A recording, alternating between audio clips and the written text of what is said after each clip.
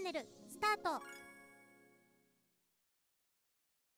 JRA 賞が発表されました。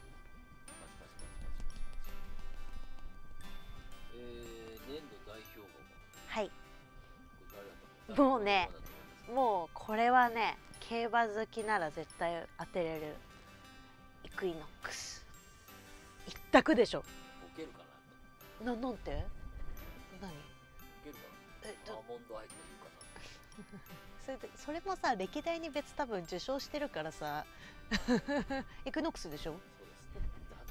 ダントツですよ、うん。あれ一票だけ入らなかったんだよね確かあそうなんだ。に満票じゃなかった。一票誰に入れたんだろうね。誰にっていうかどのおばさんに入れたんでしょうね。いやーもう去年はいい1年でしたねイクイノックスのレースをじゃあこれは見れて。最優秀4歳以上ボバは？4歳以上？4歳以上。これ分かんなかったらやばいよ。えヒントちょうだい。いやいやもうヒントがこれ。最優秀4歳以上ボバあイクイノックス。そうです。あよかったよかった。4いや4歳以上って今別ジャンルかと思った。そうだよね。あ二冠取ってるってことね。二冠取ってる。こと。あよかったよかった。はいはい。ちなみに、はい。2022年も、うん。年度代表はイクイノあ2年連続なんだ。で最優秀3歳ボバもイクイノすごいじゃあダブルで 2, 二2年連続2冠達成ってことね。強かったね。強かったもん。本当に強かったもん。なんか何回レース見ても感動しますよね。ああの有馬記念。有馬記念にはいなかったけどあねじゃあなんのジャパンカップ。うん。天皇賞秋もすごかったし。泣いたのが有馬記念はいあのー有馬記念で号泣しすぎて隠れてるんですけどジャパンカップも泣いてますちゃんと。泣いてた確かに、あのパンサラッサが逃げたやつだよね。うんうん。パンサラッサが逃げてでも直線入ってさねまだ逃げてたじゃんパンサラッサ。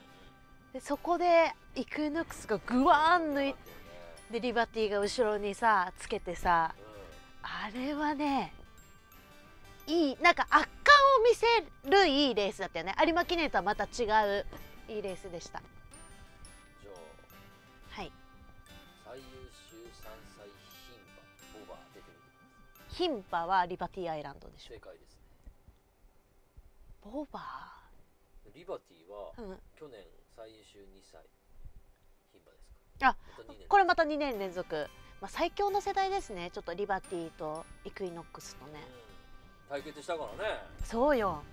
ついに対決して。まあイクイノックスが勝ちました。勝ちましたね。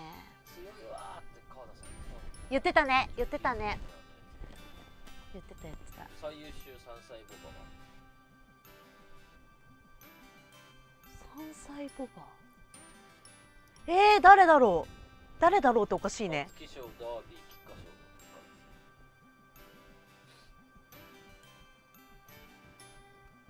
と誰？タスティエラああ多分勝ってないわ馬券。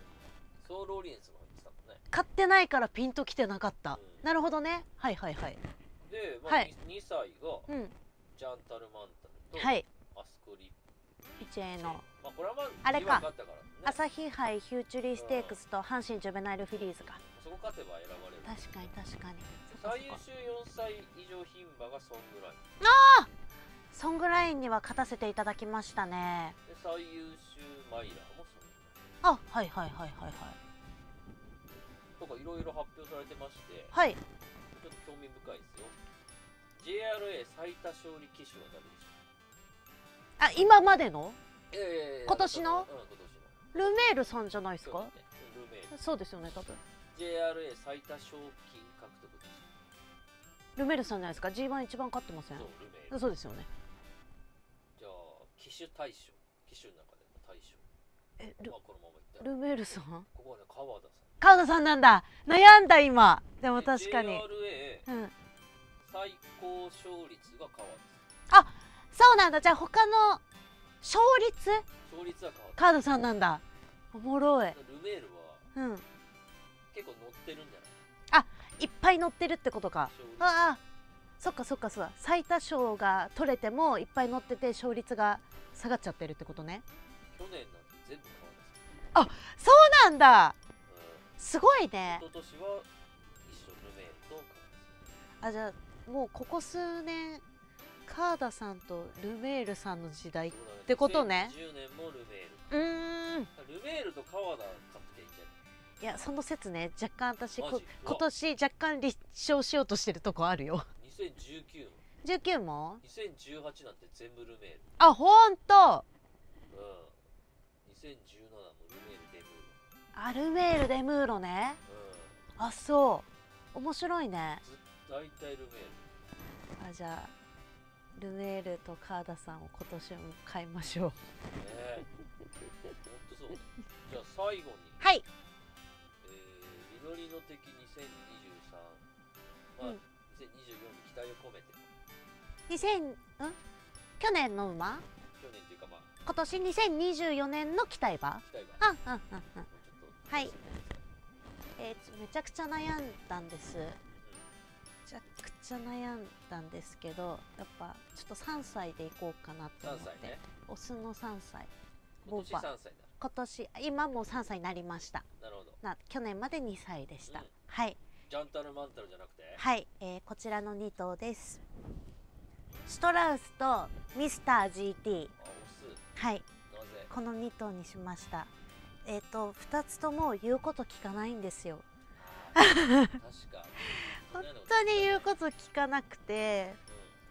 多分なんだろう。馬も気難しいしその騎手のコントロールとかも大変だと思うしでも調子がいいとすごい爆発力がある馬だと思うので、うん村があるうん、ムラはあるんですけど、まあ、2歳でムラがあるって、まあ、性格的なものも含めてもしかしたら大人になっていくかもしれないしムラがあっても面白いじゃないですか。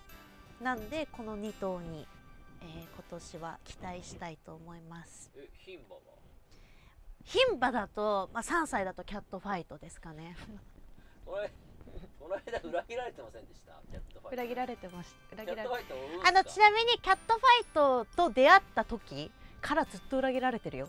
出会う前の成績が良かったって。出会ってからはずっと裏切られてるんで。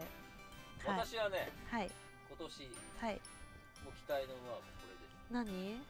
ドーデュースのうん。リバティアイランド もう当たり前やんそこ。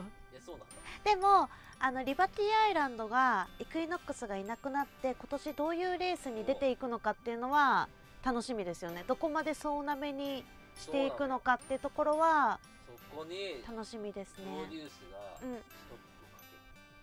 あ同じレースに出るってこと？け出てくれそうじゃない？あ天皇賞ぐらい出てくんない？秋ドーデュースさ永遠にライバルおるやん。そう考えるとね。でも確かに一緒に戦う。ジャあパンカップはさーそうだね。たあのたけしさんじゃなかったしね。まあしかもイクイノックスとかパンサラッサとか言ってこう惑わされるじゃないですか。タイムとか引っ張られてるから。そういうのがない状態でのってことよね。確かにそれは今年の一つの楽しみですね、まあ、あとはいっぱいいますからまだドレッツァとかさいろんな馬いますから。レモンポップはねサウジに出るっぽいんでね楽しみですね。ママコちゃんとか。あママコチャねママコチャ勝たせていただきました。スプリンターズステークスだよね。買ったのね。そそうだよね。良さそう良さそう。でもまあそうなってくるとカーダさんとかルメールとかさんとかど誰に乗るのってなるけどね。そういっぱいねいい馬がいる戦いだとねそんな JRA 賞でした、はい。今年の G1 も楽しみにしましょう。チャンネル登録よろしくね